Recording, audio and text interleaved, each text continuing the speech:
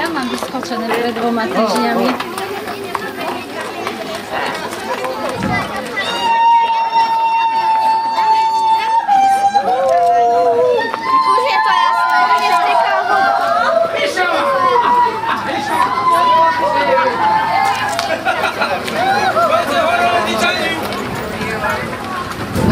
哎呀，好难听。